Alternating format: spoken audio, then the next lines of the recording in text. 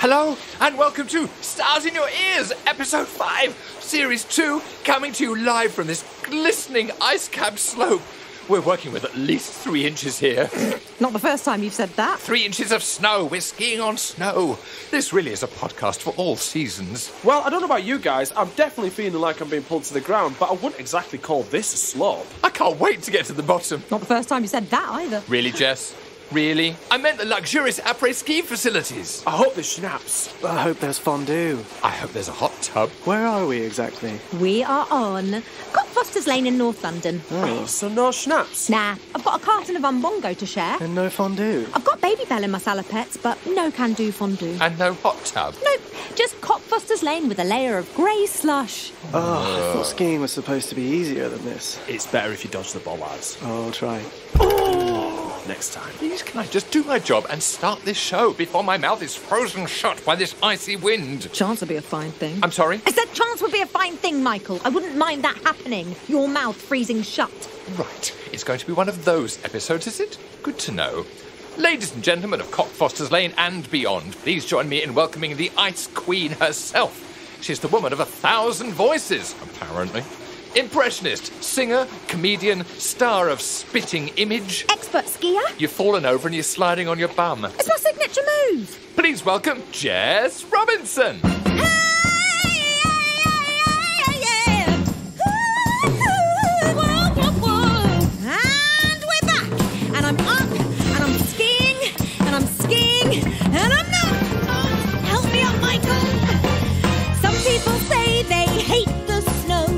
You're wrapped up warm, it's not so tough. I've got a woolly scarf. I've got a pom pom hat. And I've got my hand in her muff. Makes a change. Welcome to the show. You're gonna hear stars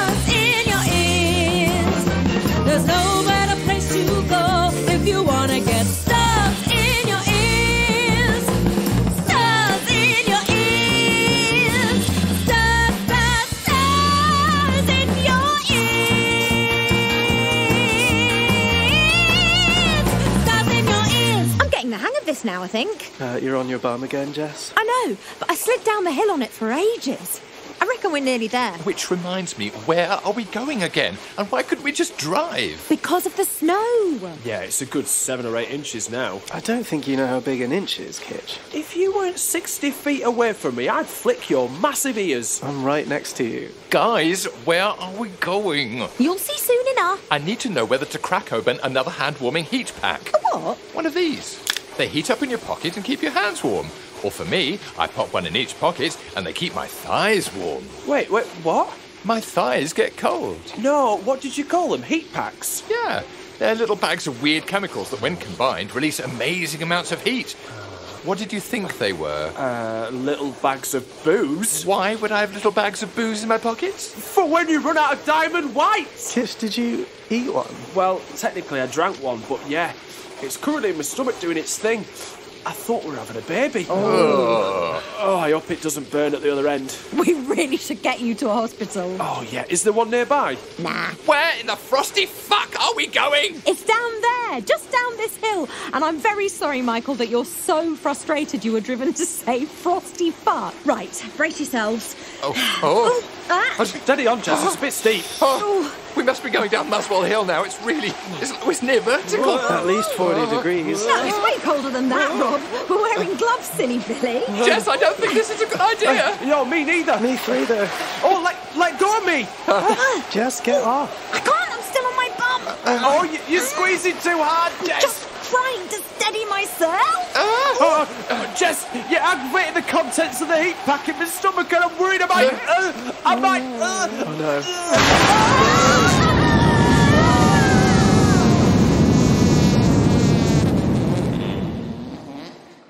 no. Ooh, sorry, guys. There goes my chocolate advent calendar. My eyebrows. Well, that melted the snow. And the Babybel. Fondue. Breadstick, anyone? Oh, I've got curried Cadbury's down here. Oh. We certainly arrived with a bang. Oh, I hope there's a Topshop nearby. These leggings are ruined. Well, on the bright side, we're meeting my friend. They said we could crash any time. Guys, we, we could crash any time. Did you nearly risk our lives for that pun? Actually, don't answer. I know you did. Yeah, it's been a long year. I think I've gone a bit weird. Sue's front porch shall be demolished and burnt to a crisp. Yeah, Jess, who lives here?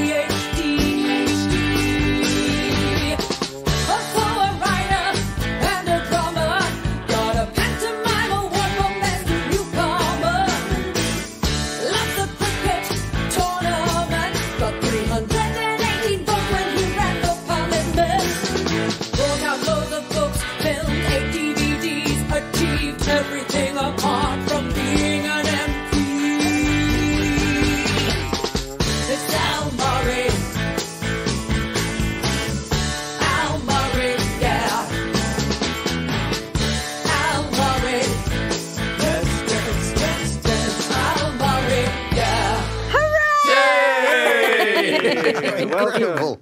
Al Murray, welcome to the show. Well, thank you for having me. How fabulous. What an introduction. Crikey. Something to live up to. Oh, we like to make people feel special because uh, it's very downhill all the way from here now.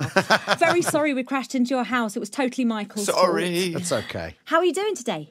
Oh, fine. Yes, I've been um, I've, I've been writing jokes for Spitting Image. I don't know if you've heard of that program, Jess. Yes. If you- I don't know if So you're aware of last week we had Matt Forde on, or no, the week Yeah. before last we had Matt Forde on. Yeah. Now we've got someone from the actual writing team. Well, Forde, Forde's in the writing room, but he just ends up writing stuff for himself to do Boris. So you know. So you do loads of voices and characters. Are you going to maybe be doing some voices on the show? Well, I no, no, I'm not, and I, I, I missed a trick. I should have, I should have, because I do funny voices. I don't really do impressions because I'm sort of We lazy. don't either, to be fair.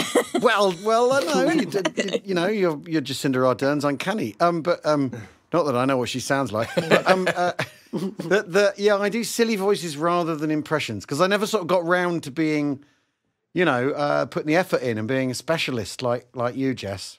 Well, know, you say that, idol. but uh, we are going to talk later about your act when you first started out, and that sounds very specialist. Yes, it was extremely special. Um, yes, I'm way of putting excited about that. so, as well as uh, obviously being the pantomime newcomer of Great Britain. Um, I actually won an award uh, as best mythical creature for the, the Great you? British Pantomime. Yeah, I mean, it, I I don't know, but the band, you must feel quite intimidated now, knowing Yeah, yeah, yeah. Yeah, in the presence of greatness. Um, uh, when you started out Mm. at school, did you do silly voices and characters and I certainly did do silly voices, and I and I- and um, my my nickname when I was a kid yeah? um, was Buzz. My dad called me Buzz because I was always making stupid noises and doing silly voices.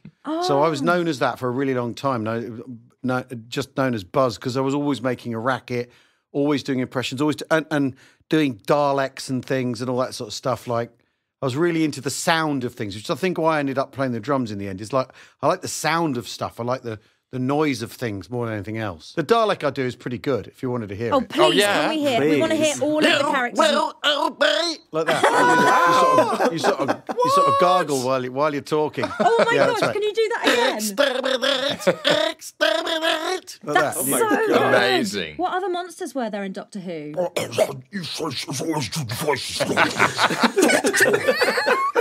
You voices always do voices. so, Doctor, we meet again. Blimey. It's all that kind of like just doing exaggerated things, really. Oh. Yeah, I was sort of in, really into that when I was little. Did you do cartoon characters and stuff as well? Sort of kind of get halfway to Donald Duck. Um, I'm a I want chess. I can sort of get halfway there and then all the kind of like basically anything absurd or over the top, which is where I've ended up with my comedy career, is is was sort of red meat to me. I love all that. I love all crazy sounding things, things for yucks, you know, as they call it in the in the comedy trade. Yeah. Yeah. Mm. I I feel like our upbringings were pretty similar in that we both grew up in villages, Yes. uh, went to little village schools. Yeah. Were you the sort of kid who put on shows with your with your pals or entertained your friends in the playground or Um, uh, not at school so much, but in the summer holidays, I had this cousin who would write a show that we had to do to our to our parents and our siblings. Um, uh, and he would write these great long shows. And he'd get the Puffin joke book, and it would all be jokes out of the Puffin joke book. And then we'd do these shows as sort of musical numbers and bits that I would steal from the Muppets and stuff. And we we we kind of do that. And looking back on it, uh, my parents and my cousin, his his parents, they're sort of like rictus endurance grins during this stuff, and were like heart a welcome applause. Are probably the reason I ended up. Um, like enjoying performing so much, and so they have a lot to answer for. Because I, I, I haven't got any of the scripts anymore, but I could I could ask my cousin John to dig them up, and I, I bet they're I bet they've you know rubbish. is your cousin John a performer now as well? No, no, no, no, no. He's no, he's not. No, not not at all. Um, and because because I have I've had a lot of things where I've done stuff with other people and then and then they've sort of fallen by the wayside and I've carried on. like there was a bunch of people when I first got to uni who I sort of press ganged into being a sketch group with me. You know, one of them's one of them's a doctor of geography and the other's a lawyer. They, they basically all fell away and I carried on showing off. um, uh, because in the end, that was the difference between me and them, because I was a show off. Yeah. So when you started doing the pub landlord, was there one person in particular that inspired the character and the voice or No, not not not at all. Because it because it really was a stopgap in a show. We were doing, we were in Edinburgh doing the Edinburgh doing the Fringe. Yeah. I was in a, a thing with Harry Hill, um, uh, playing the drums in a little band that he- and I and another guy had called Pub in, called Pub Band. We had lots of different bits and pieces, and at the end, the three of us played mad covers. So we did this really. We did. We, we jammed in an afternoon and worked to set out in an afternoon. We did this really odd thing where we did. So we did like the sound of like Material Girl. It was sort of vamped along that, um, or or like a Virgin's da da da da da da da, and then he'd start singing the theme from Dad's Army over that backing, and then we'd go to the chorus chorus of Material Girl, and then we'd go back to the like a Virgin Vamp, and then he'd sing Run Rabbit Run Rabbit Run over it and it worked. It just we it this happened spontaneously in rehearsal, and it just worked. So we thought, oh, we'll do that then. So anyway, we did this show, and we'd been rehearsing it in London and previewing it in London, and I I was going to come up with a linking thing, and the thing I came up with was a character thing. It just didn't work. Didn't work at all for for all sorts of reasons. But, but, the chief one was it was a really bad idea, and then we got we got to Edinburgh, and I the opening night, uh, I'm, Harry's like, well, what are you going to do? I said, I don't know. Well, how about we? Because we we're in the cabaret bar at the Pleasance. I said, how about we say that the compère hasn't shown up and the barman has offered to fill in from the behind the bar here. And Harry's like, yeah, whatever. Another one of your brilliant ideas. um, and I went on, like having scribbled down three things and did immediately went, well, all right, hello everyone. Uh, thanks for coming. Sorry, the the compère's not shown up, so I've offered to fill in. And I had an act like just then and there. Did sort of five minutes mussing out these gags I'd written down, then brought Harry on. Harry did his 40 minutes, and I wrote a load of stuff down while he was on. And at the end of it, I thought, right, well, that works. So I'll write some stuff tonight. And we did it again the following night. And then the third day, I cut all my hair off Oh my god. because it had to be, it had to have no, he had to have no hair. Right. And then, and then we did three weeks of that, I think, or two and a half weeks of that in Edinburgh. Um, got a Perrier nomination at the end of that week, the last, which was sort of mad because the show was thro- literally thrown together, like just like I've described it.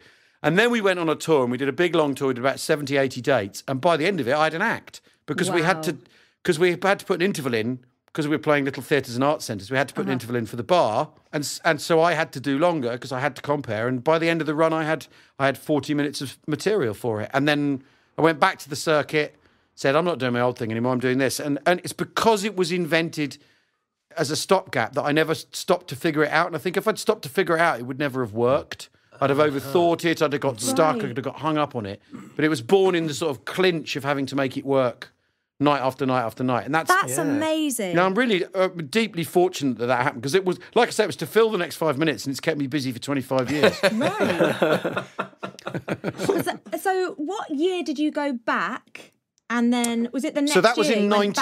That was in 94. So in that Yeah. year, in 94, I was playing in playing in the pub band, and I had another musical comedy act which was called Guns and Moses, that was supposed to be the world's only. Jewish heavy metal band, um, and I was the drummer, and they had me. They had me in like a in a in a in uh, a, a Palestinian headdress, dress, and I wasn't allowed out from behind the drum kit. Really. And we did those that year, and then I took a year. I, I didn't go the, in '95. So '96, I went back with my first actual hour of pub landlord. I got a Perrier nomination that year, which was which was basically completely like ridiculous, mind blowing because it was all. A, I was like, can I make this work? I don't know. I can. I know I can do an hour, but I don't know if anyone's going to like it. And and and I sort of haven't looked back. It, it's, That it is was- amazing. Yeah, um, yeah, and it was all luck. It was all like quite quite literally a stopgap and a, an accident. So Yeah. you know, Yeah. uh, follow your instincts. I always say. Honey, listen close. Listen close, Cause this is where I really need ya. I need you. If this is your bag, then give us a tag and post on your social media. Please rate us, validate us, show us how much you care. Hit subscribe, give us stars out of five, and don't forget to share. Have you ever felt judged for having the voice you do? Probably not, I would imagine. But Oh yeah, yeah, de- most definitely. Yeah, yeah, yeah, yeah, yeah. And I, I do that thing of, um, you know, my family's quite posh. Yeah. But we're we're we're downwardly mobile. You know, I, uh, my grandfather was an ambassador. My dad worked at British Rail. I'm I. your you mum's know, my school governor. or Your mum, well, my my mum's your, your school governor, your old school governor. Yeah, but I'm, but you know, I ended up in entertainment, so I'm on the I'm on the downward. So, but I do have that thing where, um, you know, if I've got to if I've got to take a car to a garage, I start knocking consonants off and everything. You do, right. Yeah, mate. Oh, yeah, it's in a right old state. There was one. There was one one place in, when I used to live in Tooting. There was a, a bloke I used to take my car to in particular, who I just sort of think if I if I can sort of London this up a bit, it's going to save me money. Absolutely. He's going to take me if he thinks I'm posh. But there you go. I've never had that problem, Al. Got to be honest. Well, you lucky bastard. Oh, you, lu- you lucky bastard. There we You can't go. come through the front entrance at hotels, though. no. Always through the trademans.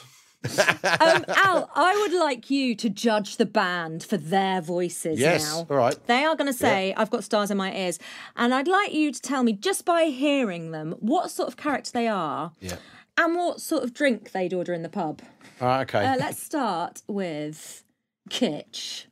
I've got stars in my ears. He wants a snake bite.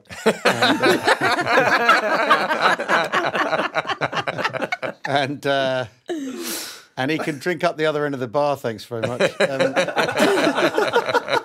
but he sounds he sounds direct. He sounds reliable. He sounds like someone you can you know depend on. Michael. I've got stars in my ears. Oh, Mm. stage school. Oh. They have a dash of stage school in there. Um, uh, so um, a nice Malbec. Oh, That's true, actually. not port and lemon. All right, okay. Rob? I've got stars in my ears. Oh, okay. oh, uh, an Irn-Bru. Oh. So they, you're the second person that's thought Scott, um, Rob is Scottish. Then. You sounded it for that brief flick. Yeah, that Matt Yeah. thought that too, Matt Fordy. Yeah, yeah, yeah, yeah, yeah, yeah. Well, that's interesting. Why? Where are you from, Rob? I'm American, but it's very diluted, the accent now. So Yeah, that's long gone. Yeah. wow. Gosh, incredible. There How long you been here then? Forever. yeah, uh, 24 years. Oh yeah. Oh no, it's there. There it is. Long time. Yeah, that, I still have the hard R's. I still have the hard R. I also have a hard R.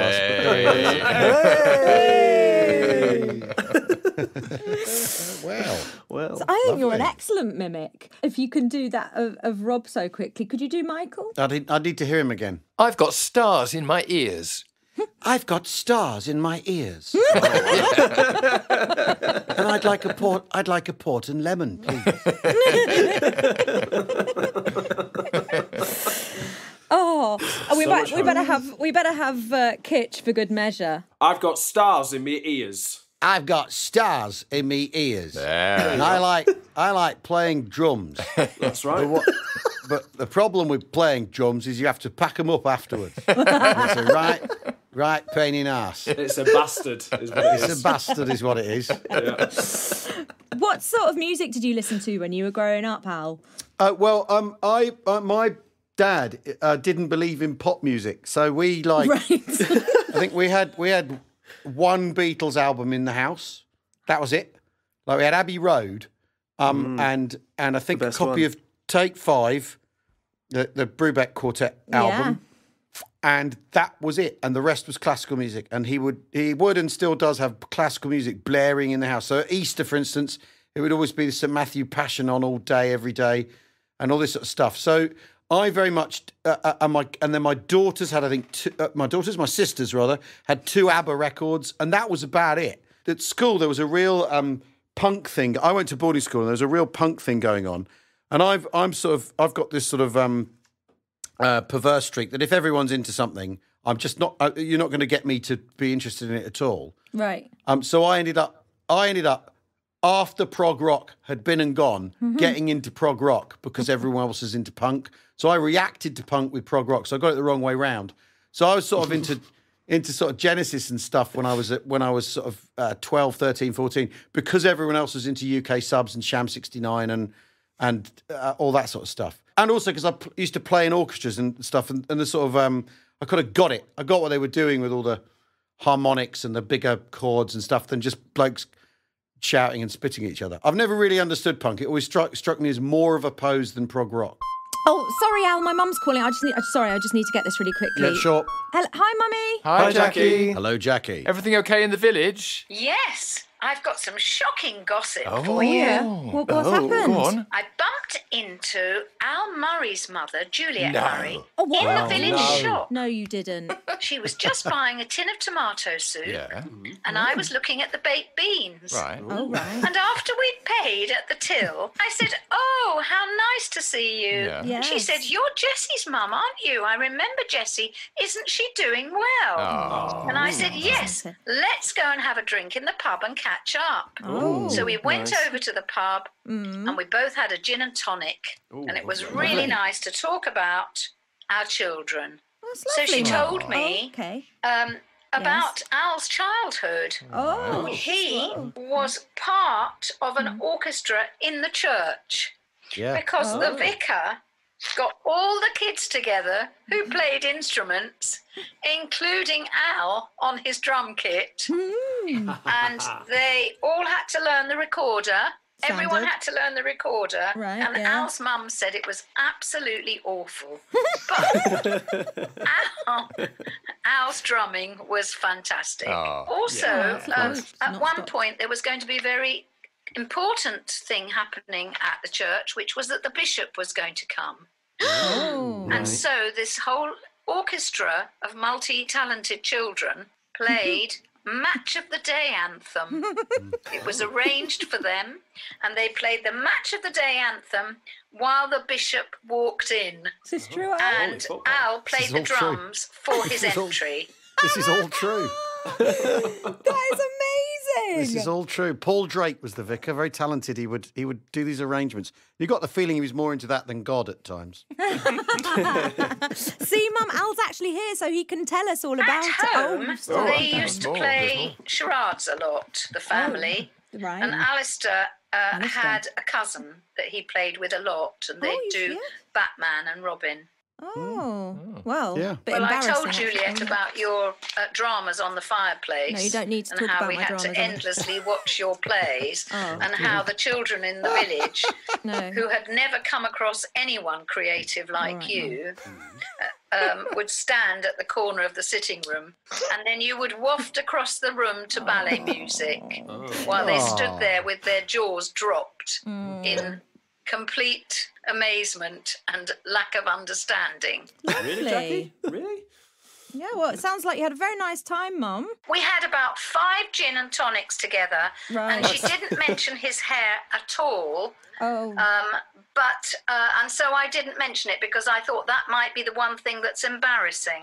Okay. Well, thanks oh. for not mentioning that then, Mum. I better go now because the Right. vicar's coming round at three, and Sure. Nellie has just done a big poo in the front drive. Oh, Bye, everyone. time. Special Okay, hugs but- and kisses to Rob. Bye, oh. Jackie. okay. Bye, Bye, Jackie. Jackie. Bye. Bye, Jack.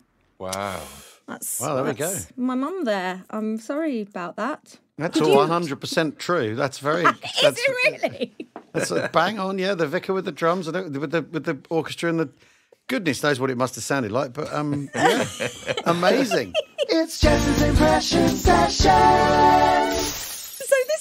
Of the show where I would usually teach you an impression, Hmm. but because you started out with an act doing, did you do impressions of sound effects? I My did friend sound Dave Lamb was telling me about this. I did, yeah, I did sound effects. So it's basically it was a sort of glorified pub trick, and I discovered that if you do if you do sort of um, you can do very simple sounds through a PA, and they end up sounding they just sound they end up sounding amazing, especially because um, you know an SM58 or whatever has a, this proximity effect thing. So the closer you get to it, the deeper the sound is, you get a deeper.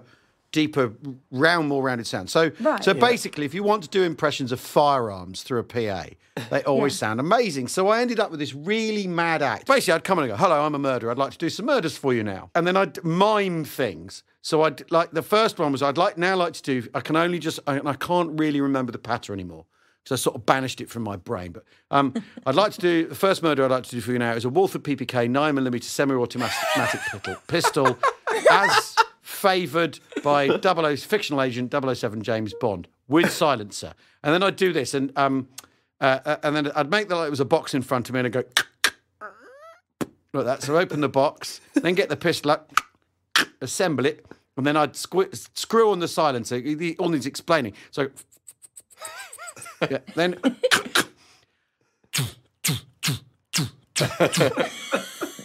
then I blow over the blow over the end like that and put it back in its box. And then I and, and that used to absolutely kill, right? And because through a PA, it sounds amazing, right? And then I and then I do an AK forty seven, and then I do a rocket launcher, but like mess about and like add on sort of basically some of these sort of Doctor Who sci-fi Star Trek noises I developed as a kid. Wow. And um, and then of course the, the, the sort of the high point of it, it ended with me like starting a propeller and feeding things into the propeller. Was the big, sort of big finish. But um, I. I the, the the best impression was the car boot opening. Well, I'd do this car. I'd say I've got to get the rocket launcher out of the car boot, and it went like this, like that. And then you close it, you go.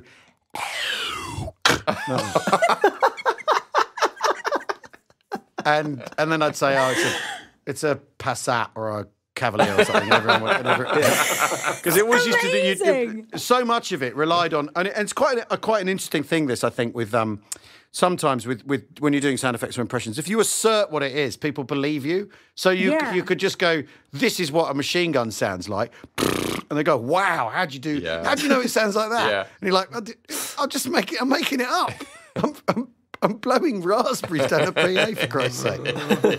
but the car boot was the one which used to absolutely kill.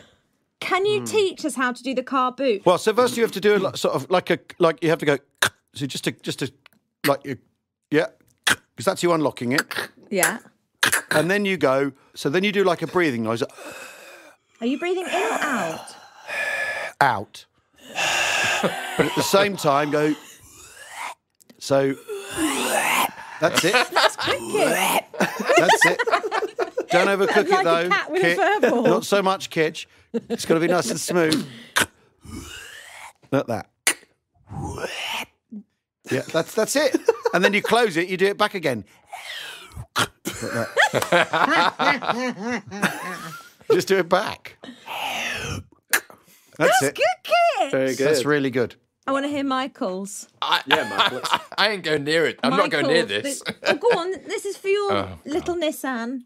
hang on, hang on. I've Got to concentrate now. I can't do it. Amazing. Hang on, hang on. Breathing out and Like that. Yeah, nearly. no, no, no. You sort of got to sing a note going up, but like that. Like it, it's like it's like you're humming up, going, but then take the actual hum out. It's it's not unrelated to the to the you know the water drop that. Oh yeah. Oh, that's good. Have you got it, Rob? yeah.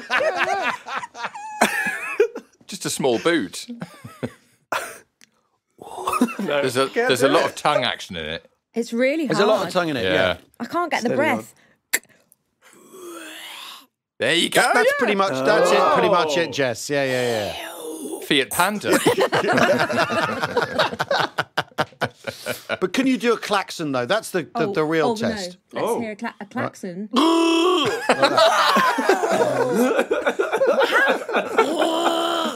Again, it's to do. It's like the, a bit related to the Dalek. We have to gargle and so it's.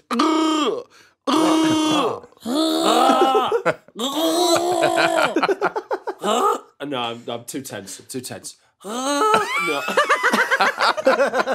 Doesn't have to be that long either. It could just be. I sound more like the That's it, bird it's that gets its tail pulled at the end. You'll of, get uh, there, but you've got a high pitched voice to me, so that's what that is. I- I'm, uh, yeah, I'm, I'm, I'm wasted. Wasted on the klaxon. And then dinosaurs. uh, uh, Also, um, Jurassic Park with us. That's a bit chewy. That's a bit Chewbacca as well. That's like a slow klaxon. Yeah, well, they're all the same. They're all, if you once you can master the gargling and doing a tone at the same Yeah. time, there's a whole range of things available to That's you. exactly what I say about impressions. Just a little bit higher or a little bit low, but it's all Mr. Yeah. Bean in the end. um, Kitch, yes, Jess. would you like to introduce your fantasy duet this week? Because we, because Kitch is a bit of a fan and you play Yeah. the drums brilliantly, Al. Well, that's too kind. We thought this week we'd let Kitch do his fantasy duet, Great. Which is uh, you two having a bit of a drum off. Because it's time for our fantasy duet.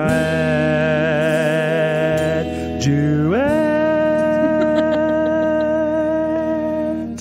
Oh, that was lovely, Kitch. Thank Wow, you. I sound even more like thicker than normal. Right. I've done that classic uh, Cooper Rich uh, album where this they pan to either side.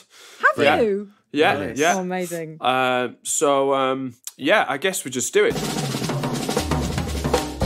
All right, then, here we go. Are you ready? Okay, Al, challenge number one. From this drum fill, can you name that song?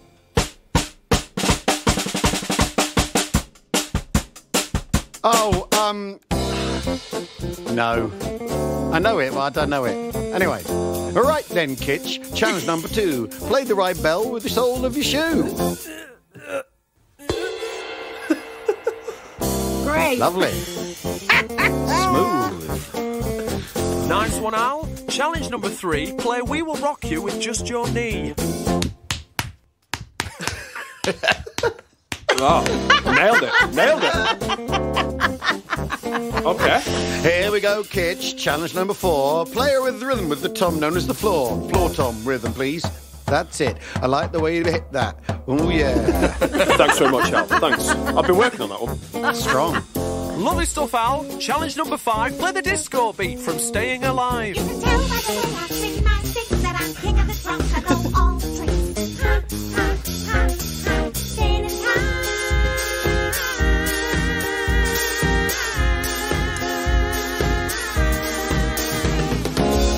Oh, that was it. that was it. Okay, Kitch. Challenge number six. Play a fast roll with just your best sticks. Oh, my fingers. Oh, Good impro. Okay, Al. Challenge number seven. Can you play a beat in the meter of 11? One, two, three, four, five, six, seven, eight, nine, ten, eleven. One, two, three, four, five, six, seven, eight, nine, ten, eleven. Bloody! Already, Kitch. Challenge number eight. Play them paradiddles on a china plate. Oh! oh! Beautiful. balance. Nearly there, Al. Challenge number nine. Hit the crash cymbal once you've downed the wine. Mistletoe and wine.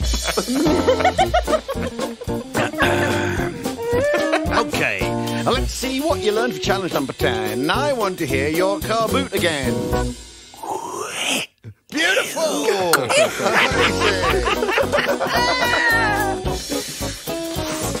Challenge number 11, same as number one. From this introduction, name that song. oh, that's Led Zeppelin, isn't it? That'll do. That'll do. That'll yeah. do. Yeah, yeah. Good times, bad times. So, who's won, Jess? Oh, it's definitely me. No way! Come on, I played 11 beats in a bar and counted it. Nice. You've shown your skills and we're all in awe. So play us out, boys, and we'll call it a draw.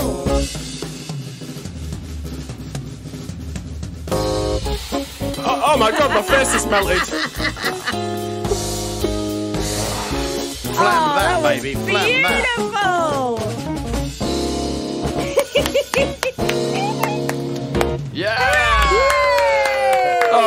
last word, Al Murray. Fantastic, fantastic. oh, what a team! Was that like you playing with the vicar? That was that was better than No, the that's vicar. wrong. That was better than playing with the vicar. Yes. Oh wow! Put that on your gravestone, Kit. Al, is there anything you want to plug, by the way? Oh yes, um, why not? Um, I have a new book out called uh, "Last Hundred Years, uh, Give or Take," and all that, which is a, a, a comedy history book, um, in which I called a misremembered journey through the 20th century. It's out on Thursday uh, uh, this week, whenever that is, whatever day Thursday this week is. I never know. I, I, basically, Your Um, podcast will be out by then. Where can people get this amazing book? Um, Amazon, uh, Waterstones, the signed copies at Waterstones actually, um, and it's it's all the things it's all the things you wanted to know about. So you know, Lenin, the warm up guy, Stalin, the main event, um, uh, Beatlemania, uh, um, the invention of sex, because of course no one had sex until the 1960s. I don't know if you know that. Absolutely not. Yeah, yeah. yeah, so of you know, uh, and there were people threatening to have sex in the 1920s, but they never got round to it. and then, fortunately, the war came along and stopped them having any Yeah, sex. yeah. So, um, so it's all that kind of stuff, and there's a bit about punk rock, and uh, and then there's, um, but it stops kind of in 2000 because I because the last 20 years do feel to me like I've got trousers older than some of the events like, that I would have had to cover. And also, it gets quite litigious if people are still alive and you start writing books about them. Right. So, um, uh, so I'm better off writing about all the dead people in this book. So anyway, yes, it's called The Last Hundred Years, give or take, and all that. And if people know the 1066 and all that books, classic comedy history book from a long time ago, it's not like that. Sure.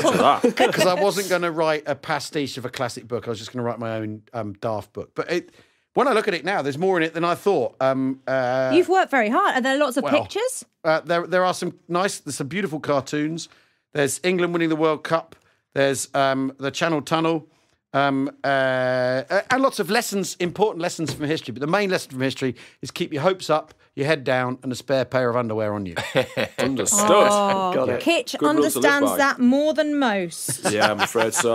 Yeah. Yeah. We are going to put the link to that in the episode notes. Wonderful, So thank you. listeners, go and buy and and try and enjoy. That's my Yeah, that, that, speaking's done for the day. That's good, good plug work there. Thank you very much. Thank you so, so, so much for coming on Stars in Your Ears, doing all of your voices, your sound effects, playing the drums, and just being generally absolutely It's a absolutely total brilliant. pleasure, darling. It's absolutely wonderful work with such professionals. And it's so good to see Michael again after our time together. Dear National. one, dear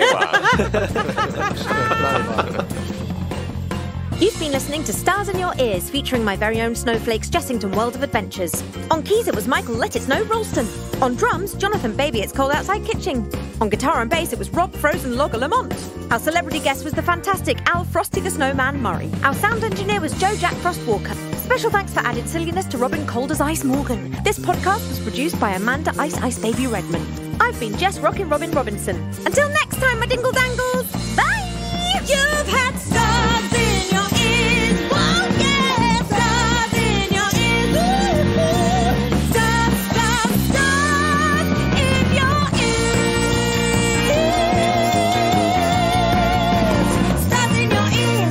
Oh, I love that. Me too. I miss him already. Who are we talking about? Do you reckon he'll stay in touch? Absolutely not. So, what do you want to do now? Well, there's an industrial estate over there. Yes. Well, you want to get a few big bottles of cider and drink there? Are we 14? No, but I can play 14. I can play any age, really. Botox. Why do you want us to drink outside? I don't know. I mean, I got quite into it during lockdown. Parks, bus stops, behind the playground. You name it, I drank there. Graveyards? Oh, yeah, big time. I'm up for it. Everyone was dying to get in there. Yeah, me too. Michael? Dead centre of town. Fine, but let's not get into trouble. We're not going to get into trouble. Oh, look, there's four brand new Mini Coopers there. With the engines still running. And no one inside. Cider, anyone? Better not, Kitch, Why not? because we're driving. We've got a heist to plan.